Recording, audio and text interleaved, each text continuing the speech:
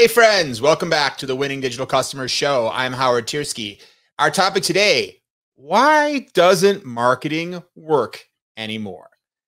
I've heard from a lot of people uh, over the last mm, maybe couple of years and maybe in an accelerated way, I'd say even during COVID, the feeling that a lot of types of marketing don't work the way they used to. And I want to talk a little bit about why, because I think from the work that I've done seeing a lot of different companies and how they're approaching this thing we call marketing. Uh, what is it that is working, and what is it about a lot of kinds of traditional marketing that have kind of stopped working? And I think from being able to observe lots of different patterns across lots of different companies, I have some insights I'm going to share with you about why certain things aren't working and what it is you can do about it. So, first of all, let me start by saying this term marketing, you know, to me, it's kind of a weird term. What does it even mean anyway? Uh, there are some things that I think we would all agree are marketing. You send a brochure to your customer, that's marketing. You you put a TV ad up, that's marketing. So there's stuff that I think everyone would agree is marketing. But when you look at the activities of the marketing department of many companies, it can encompass encompass all kinds of things. At some companies, all of e-commerce is in the marketing department, and in some cases, none of it. Or in some cases, the marketing department is in charge of uh, understanding the whole customer journey and customer experience through all touch points. And in other cases, that's not part of their responsibility. It's another department, or sometimes it's nobody's job. So even what we mean by marketing today is kind of a nebulous term. But let me tell you what I mean when I talk about marketing not working anymore. And let me just start by just making a distinction very rapidly. And some of you are probably familiar with this, but you know, sort of in this world of marketing, we often think of two two key types of marketing. And one type of marketing is uh, direct response marketing. And, you know, different people probably have different definitions, but I would say direct response marketing to me is any kind of marketing that's meant to, to get you go buy something. You know, here's a car I'm advertised on TV, special financing rate, Labor Day sale, come this weekend, buy a car. I would argue that is essentially a form of direct response marketing. Obviously, an internet ad where you're supposed to click and buy with your credit card right now is, of course, a form of direct response marketing. Uh, you know, historically, your very first forms of direct response marketing were a lot of direct mail, where they'd send you something in the mail, order now, you fill out the card, you you you, you enclose a check, you know, you mail it back. I mean, that was the good old days, right? So, but direct response marketing is essentially designed to drive a specific action or behavior. It's supposed to tell you you should go do this. And direct response marketing, of course, can still be effective, but a lot of times of direct response marketing have stopped working nearly as well as they used to. I'm going to tell you the second main type of marketing, and then I'm going to talk about them together because a lot of the reasons why marketing is working a lot less well it, are similar across both types of marketing. But I just want you to think about these two domains. So that's the first domain. And the second domain is brand marketing. Um, and brand marketing is when you're not necessarily trying to get someone to buy this particular product right now, but you're trying to create an awareness of a brand. A classic example of brand marketing would be the old I'd like to buy the world a Coke television commercial. In fact, a lot of uh, soft drink marketing is brand marketing. Uh, you know, they're not necessarily saying get in your car right now, go to the grocery store and buy a bottle of Diet Coke, but they're trying to create an emotional connection between you and the brand. They're trying to communicate what the brand is all about, what the brand stands for, so that hopefully the next time you are in in a mode of buying that type of product, you have a positive affinity towards the brand. So it's less about getting you to do something now and more about planting a seed so that when it's the next time you're going to buy, you have that enhanced brand impression. So those are sort of the two main types of marketing. And, you know, a lot of the traditional approach to marketing is what some people have called interruption marketing, marketing like a TV commercial that's meant to sort of find you wherever you are and say, wait, wait, I know you're here to watch an episode of, you know, Star Trek, but first, you have to hear about our new, you know, coffee or our new, you know, diet, diet, uh, a new, a new light beer or whatever it is. So um, that's a lot of the classic approach to marketing. I mean, that's really your classic marketing, right? Which is, hey, we either want to get you to buy something, we want you to appreciate our brand, and we're going to find you and we're going to interrupt whatever else you're doing to tell you our message. So that is the kind of classic marketing. And that is the type of marketing, whether it's done in the digital world or in more traditional media, is what I mean when I say that marketing doesn't seem to work anymore, or at least in many cases, doesn't work that well anymore. And so, why? So, let's talk about the three main reasons why traditional marketing isn't working so well anymore. Oh, there's our guy who's thinking about why it doesn't work so well anymore. The first, and I believe this is the number one reason, is cynicism. A lot of traditional marketing is essentially telling the customer why they should buy your product, what you want them to know about you. We have the highest quality, the purest water, the most accurate thermometer, the the the you know the most friendly accounting services, whatever it is. Somebody has strategically determined what is it about your message that we think will get someone to buy your product or your service. And let's tell them. Let's create a television commercial, maybe in an entertaining way, but let's tell them what that is. And here's the problem many, many studies have shown that while people may never have believed everything they saw in advertising, uh, the cynicism and disbelief of claims made by advertisers is at an all time high, and particularly millennials and younger are extremely cynical of anything they hear in an advertisement. Someone tells them something in an ad. And first of all, because they've been so bombarded with advertising now, it's not like the old days where, you know, you might watch a show and you might see a few ads. Now ads are everywhere, right? Not only on the side of buses, they're I was at the supermarket the other day. There were ads on that um, that conveyor belt, you know, that that you put your groceries on. There were ads there. There's ads on the floor in in Grand Central Station. You just walk along, and it wasn't enough that the walls are covered with ads. They're now covering the floor with ads. They're projecting ads. Studies have shown that people go through the course of a day and they see thousands of ad messages. And of course, in order to survive, their brain has just concluded that these things are unimportant and largely filtered them out. So that's part of the cynicism. It's the cynicism of saying these messages are irrelevant to me. I don't need to pay attention to them.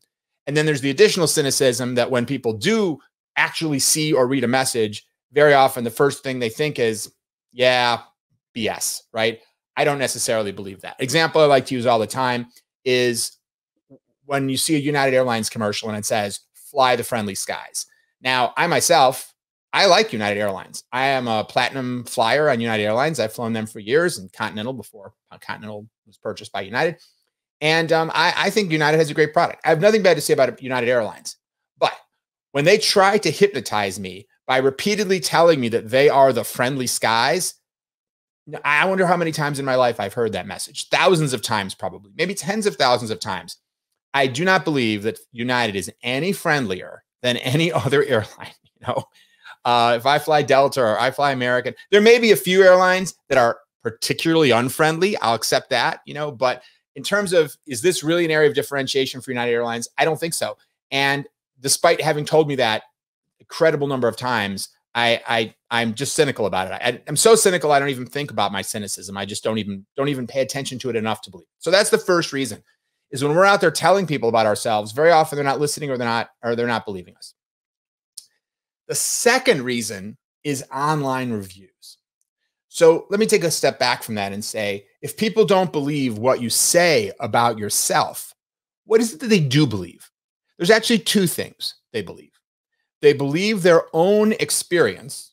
So, for example, I was talking about uh, I don't believe that United is a friendly skies, but on a few occasions, I have flown Southwest Airlines. Not often because just they're not often the airline that's going between the cities I'm flying between. But man, those people are friendly. If you've ever flown on Southwest Airlines, the staff is like, they're all so happy to be there. They're happy to see you. They're making jokes. They're making it a fun experience to fly on Southwest Airlines. If you asked me, what's an airline that's friendly? I would say Southwest Airlines, not United Airlines. Now, Southwest Airlines has never told me that they are friendly. I don't recall them ever having an ad about how friendly Southwest Airlines is, but they've given me that experience. So I believe it because I've experienced it. Now, that's not what I'm talking about now. I'm talking about online reviews. But the reason I, you know, the, the point is there's two things people do believe their own experience and credible reports of other people's experiences, not the phony testimonial you put in your ad with a picture of somebody and a quote that says your product is the best thing since sliced bread. Since, of course, today's cynical customer knows that you cherry picked that person. That's probably a stock photo anyway. Lord, Lord knows you might have made that quote up.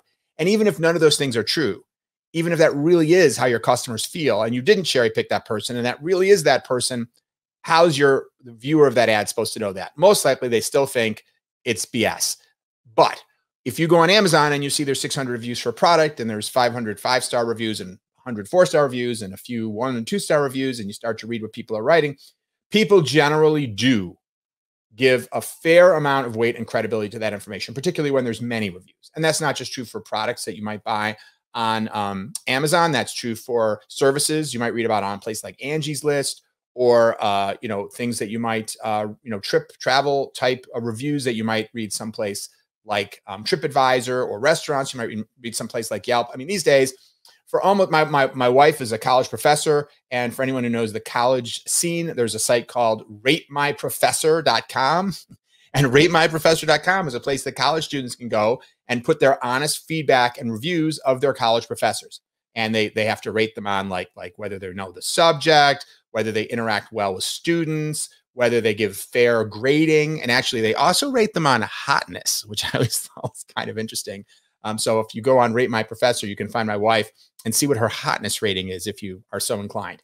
In any case, it's a good, it's she has a good rating. So I, I wouldn't tell you if it wasn't the case. In any in any case, what's my point? What is my point? My point is that people believe that stuff. That is believable and credible. So um, and why does that undermine? Why does why does that make marketing not work well today? Well, the reason is because whatever you say about yourself is is is eclipsed a hundred thousand times over by people who are interested in learning more about you as a brand, they can just go find what real people say. And that voice speaks 10,000 times louder than yours in terms of telling, actually telling you know, the story and representing what your brand is really like. And so those online reviews take the place of anything that you might say about yourself largely because very often they're more detailed and furthermore, they're more credible. So that's the impact of online reviews. Um, and then the last is availability. Now, how does availability mean that marketing works less well than it used to? Well, you know, there's a couple components to marketing. I like to think of marketing as as being mainly three things. First of all, there's awareness of your existence. You let someone know, "Hey, uh, we're a new Chinese restaurant we just opened up in town." Okay? The second part of marketing is letting people know why they should come there. What's different about you? We have the we have award-winning egg rolls and the you know whatever the the best service in in the world or whatever right? This is my this is your differentiation. This is why you should come to my chinese restaurant. And lastly there's a call to action. We're open from you know noon to 8 p.m every evening. Call 1-800 chinese restaurant for reservations or whatever i mean this is the the skeleton if you will the basics of any kind of marketing. You need to let someone know what the heck it is why they should choose you and what they should do to either get more information or buy or make an appointment or what, you know obviously depending on what your nature of your business is, is going to vary so in the old days when we didn't have digital you know maybe there was no let's take another example let's say let's say you're a collector of porcelain dolls right and well let's say the closest store that sells collectible porcelain dolls is 50 miles away from where you live and all of a sudden a store selling porcelain dolls opens up, you know, 10 minutes away from you. All they have to do is let you know they exist. There is a porcelain doll store. You're like, oh my God, a porcelain doll store, only 10 minutes away from me. I'm going to drive there. Just knowing that something exists was almost enough in many cases. If there was a, you know, uh, uh, maybe there's only one store in your town that sells clothing, and now all of a sudden a second one opens up, or it doesn't even have to be only in your town, you know, near where someone lived. Proximity was so important. And so if you were simply in a in a certain space, a certain market, and you told people you existed, that was often enough. You got differentiation merely from your physical location. That's the whole real estate idea of location, location, location. And very often you could get people. So of course it's people believe you when you say they they you tell them you exist, right? Very few people would lie. Nobody would say, "Hey, we're a new Chinese restaurant in town. We just put an ad in the paper, but actually we're not. We're not a Chinese restaurant. We're not in town. We don't exist at all. We just advertise that we do." Of course, no one does that. So people believe you when they say you exist. And when your differentiation simply comes from your proximity, there's less to need to believe in order to be at least willing to check something out. But of course, today, for many, many types of products and services, and there are exceptions, but for many types of products and services, because the internet provides endless aisles. Because if you're interested in porcelain dolls, you go on the internet and there's endless websites that want to sell you porcelain dolls and eBay and all kinds of places you can go and find them at every price point, used, new, whatever. I don't know much about porcelain dolls, but I'm pretty confident that uh, you don't need to worry about whether there's a store 10 minutes from you or 50 minutes from you or whatever else, because you now have that availability, which means that just existing near you is no longer differentiating. In fact, it's the opposite because uh, I still have to drive 10 minutes to the store, whereas, whereas everything on the, uh, you know, on the internet is right there on my phone or on my computer. So the taking away of the differentiation of proximity, at least in many cases, there are exceptions, right? If I need to find a chiropractor, well, you know, I'm not going to find a chiro- I'm not going to go on the internet, right, and find a chiropractor. I mean, I have to I need somebody who is in physical proximity because I need to go there. So there are exceptions, but in most businesses, uh, it beca- has become much much less important. And so as a result, the the marketing goal of just letting people know that you exist or that you're having a sale or whatever else, because that's the thing. Even a sale, you can say, let's say there's three clothing stores in town and one of them's having a sale. Everyone might say, well, let's go check out the sale but you don't really need the sale at your local store because you can just go on the internet and there's a million things on sale. So, um, so that's the third reason. So just to summarize, the three reasons your marketing is probably not working the way it did in the good old days. Um, number one, people are more cynical than ever, and there's lots of studies that show that. Just Google that marketing cynicism, and studied all the time. The numbers are off the chart. Number two, they're ignoring what you say about yourself anyway, because if they're interested in your business, they're going to go check out online reviews. And number three, they have so much choice that you really have to be able to prove that you are worth their dollars, that you're worth their attention. It's not enough to just say, hey, I'm near you. So these are the three reasons why marketing is much, much harder than it used to be. Now, of course, there are some things that make marketing easier in the digital age, like the ability to target people and all these different channels that we can choose to target people on. But these are three huge things that in many cases are making marketing not work well. And one of the things that I often talk about, and I want to just touch on here, is I'll put forth this idea. You know, for many years, I heard in many companies talk about this idea of our brand promise. This is our brand promise to our customer. And that's like United Fly the Friendly Skies, right? And what I want to suggest to you is the idea of the brand promise is dead because you know, it's like if I have a friend who I think is a is a is a is a perpetual liar somebody who has zero credibility and I can't trust or believe them. And they tell me something, but they don't just tell it to me, they promise. Does that mean anything to me? Not really, because I know this person isn't to be believed. So it doesn't really matter if they promise it. Well, I hate to say it because it sounds a little like maybe sad, but that's kind of how most brands and corporations are perceived by consumers. And there are exceptions, but there's a very small percentage of exceptions. So by and large, if you're a major global bank that everyone's heard of, and you go out there and you say something and you make that your brand promise, that brand promise is not believed.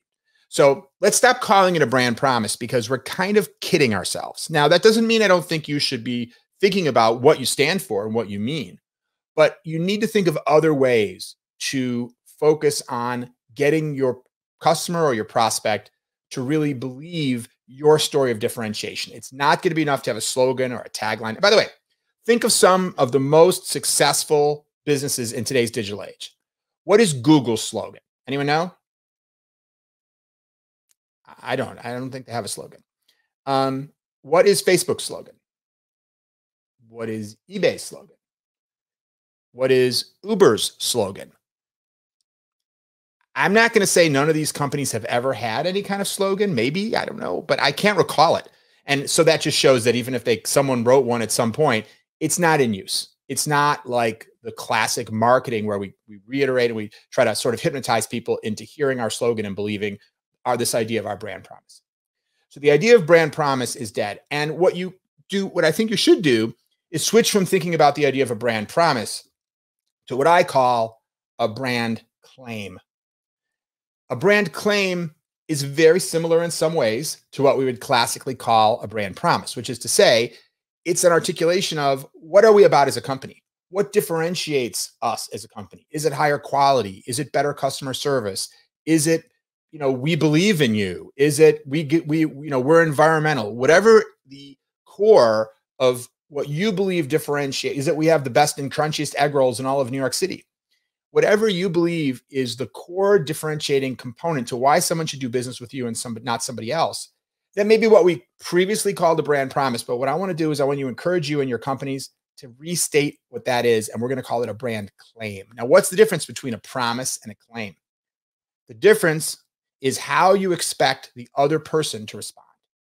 If I say something and I say that it's a promise, I kind of expect the other person to believe me, right? Because otherwise they're questioning my credibility. So I assume if I promise something, they probably believe me. But if I claim something, I, don't necessarily think the other person believes me. You know, it's like, it's just, it's my assertion. And I know that they're probably, in fact, going to be skeptical of my claim. That's really how it works today. And the one benefit of even stating a brand claim, because you could argue, well, why even tell anyone what you stand for if they're not going to believe you? The one benefit is if you state a claim, they may be on the lookout to see whether that claim is true. It's like in a courtroom. If the if the prosecutor says, you know, this man is guilty of murder, well, the jury might not believe the prosecutor initially, but the the, the prosecutor is telling them, I'm going to prove it to you. And then, of course, the jury will determine whether the subsequent evidence proves it or doesn't prove it. But at least the jury knows what they're supposed to be looking for. That's the filter, that's the lens by which they're supposed to be looking at all the things that's going to come next. Well, if you tell people that you're the friendly skies, then when they fly your airline, they potentially are going to be on the lookout to see are you particularly friendly? And if you are, and maybe they're going to notice it more than they would otherwise notice it. And then that brand quality of differentiation is going to be more believed by people. But of course, you could argue that's not really marketing now, is it? Right? The claim is the marketing, but the rest is something else. But nevertheless, that's really, and that's going to kind of lead me into what I want to end our time here today with. But it's really not through marketing that we primarily impact the way our brand is perceived. The marketing, the claim can serve as a lens, something that focuses the person. But by the way, if you tell people that you're the friendly airline, and I apologize for just using this. It's a good, clean example. Again, I have nothing against United. I think United is a great airline in many ways. I, I mean that quite sincerely. And they're not a client of mine or anything like that. I fly them all the time. Uh, I'm just saying that this aspect of their marketing, I don't think is giving them a lot of mileage. That's all. I think there's other great things they do that give them mileage. But the bottom line is um, if I don't, if you tell me that you're the friendly skies and then I go on, I don't experience an unusually friendly experience, then you've kind of reinforced my disbelief in whatever you say as a brand. And so you actually have at least a mildly negative impact because you've made a claim that really turned out to largely not really be true. And even more so, if you do things that violate that claim, now you look like a hypocrite. And United did have this problem when a few years back there was a huge news cycle about how there'd been a, a, an issue with a ticket and they wanted to bump someone off a flight. And anyway, they wound up, you probably remember the story, dragging somebody off an airplane. And I think that person might have gotten hurt. I can't remember the whole story precisely. And I don't know if that story would have probably would have still been news, but might not have been as big news if United hadn't been out there for years telling everyone they were the friendly airline, right? Because then obviously they're doing something unfriendly, even though I'm sure they do a million things that are not unfriendly. That's not typical of United. But nevertheless, this is the danger of creating a claim, which is then when you or if you violate that claim, people notice it more. Again, you've given people a lens to either look for where you are sort of uh, walking your talk or where you're not. So um, that's why, though, I still think you should think about, and you should think about how strong of a claim you want to make. You could choose as a company, like say someone like Google, to not really make a strong brand claim. In fact, many of the leading companies today, you'll notice they do very little marketing of in a traditional sense at all. Certainly very little advertising. You don't see Google. Maybe once in a blue moon you see something, but rarely do you see ads for Google, Amazon, Netflix occasionally if they have a big show coming out, but clearly Apple does some advertising, but not a lot compared to their size. You know, if you look at Apple's advertising budget relative to their revenue and compare it to other uh, companies that sell different types of consumer electronics, it's a tiny fraction because clearly Apple's main way of proving to you who they are and what they're about and why they're different isn't really through what we would classically call traditional marketing. Um, and I want to end with the thought, and, and you probably have already figured out where I'm going here. The thing that really impacts people today is experience. And you know, this is my main area of focus in my career right now is working with companies around improving their customer experience and their digital customer experience. And of course, many of you are aware, I have a book that has the same name as the show, the uh, Winning Digital Customers, The Antidote to Irrelevance. And that book goes through a step by step process for how anyone can help transform their company to be better aligned to creating customer love, customer delight, and ultimately, you know, fulfilling a positive brand promise or brand claim in a way that will be believed and internalized. And many, many studies, including some of the data that I've shared in other live casts and in the book, show that those companies that, that succeed in doing that, that succeed in creating a connection with their customers to really stand for something and prove to that customer that that's who they are, not through what they say. You know, it's like uh, you've probably heard the phrase, you know, uh, sh- show, don't tell, right? You tell someone something, they don't believe it. But instead of focusing on telling them, focus on showing them, and then they're more likely to believe it. How do we show our brand promise or our brand claim? In this day and age, it's largely through experience. When you give a person a positive experience, that is going to make a much bigger impact than any kind of marketing. And really, so the answer to me to most companies is not don't do any marketing. Think of marketing as a way of establishing a claim, but focus most of your energy and most of your attention around the experience so you can reinforce that claim and really create a strong connection to your customer.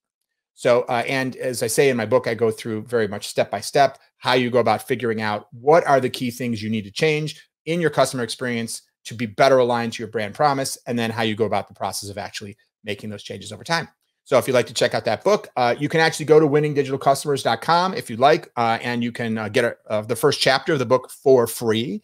And uh, of course, if you want the whole book, you can click there and you can buy it. Uh, I think at a discount on the website, and plus you can get it on Amazon and Barnes and Noble and Apple Books and all those kind of places. So hopefully this has been helpful to you. Um, it's been interesting and fun for me to just think this through. Of course, there are some things that still do work in marketing, but if you're thinking about marketing the old way, you're probably having this experience that it doesn't work as well as it used to. And perhaps this information has been useful to help diagnose why and make changes so that your marketing or your efforts to engage your customer can be awesome. So, as always, thanks for watching, thanks for listening, and keep transforming.